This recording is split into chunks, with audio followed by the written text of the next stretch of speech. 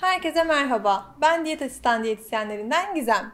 Bugün sizlere C vitamini nedir, hangi besinlerde bol miktarda bulunur ve fazla alımı sonucunda neler olabileceğinden bahsetmek istiyorum. Askorbik asit olarak da bilinen C vitamini insan vücudunda önemli işlevleri olan ve suda çözülebilen bir vitamindir. Suda çözülebilen vitaminlerin en önemli özelliği ise vücutta depolanmamalarıdır. Vücut tarafından C vitamini üretilmez ve depolanmaz. Bu nedenle günlük olarak düzenli ve yeterli düzeyde alınması gereken bir vitamindir. Vücuda ihtiyacından fazla alınan C vitamini ise idrar ve ter aracılığıyla atılmaktadır. Güçlü bir antioksidan kaynağı olan C vitamini bağışıklık sistemini destekler, serbest radikallerin zararlı etkilerini sınırlandırarak belirli kanserlerin, kardiyovasküler hastalıkların ve oksidatif stresin neden olduğu diğer hastalıkların gelişmesini önlemeye veya geciktirmeye yardımcı olur. Cilde parlaklık verir ve diş eti sağlığını iyileştirir. Yetersizliği durumunda kansızlık, diş eti kanamaları, ciltte lekeler ve morluklar, sık olarak hastalanma ve yaraların geç iyileşmesi gibi olumsuzluklar görülür. Meyve ve sebzeler iyi bir C vitamini kaynağıdır.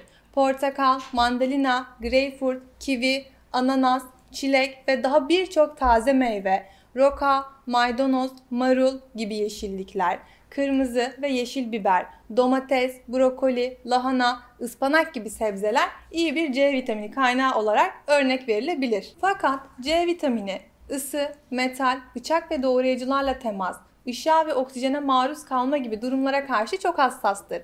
Bundan dolayı çok yüksek oranda kayba uğrayabilir.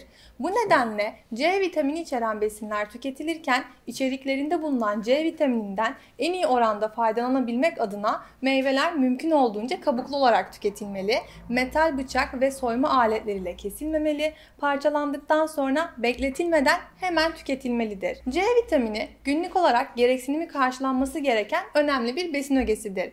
Fakat tüm besin takviyelerinde olduğu gibi C vitamininin de aşırı alımı bazı sağlık sorunlarına sebep olabilir. Fazla miktarda C vitamini alımı sindirim semptomlarına neden olabilir, böbrek taşları oluşumuna yol açabilir ve aşırı demir yüküne sebep olabilir.